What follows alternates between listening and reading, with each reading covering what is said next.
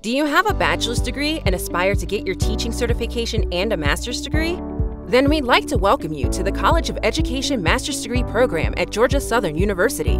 Our Master of Arts in Teaching degree leads to initial teaching certification and a master's degree for those who hold a bachelor's degree from a regionally accredited institution.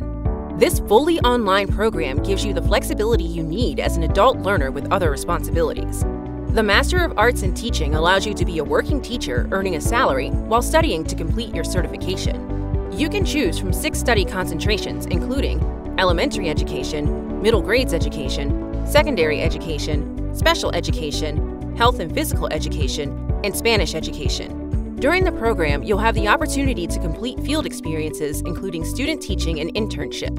If you're a teacher of record, most field experiences can be completed in your own classroom. Upon completion, you will gain initial teacher certification and a Level 5 certificate upgrade, which allows many new teachers the potential to start their full-time teaching career at a higher salary. Why wait?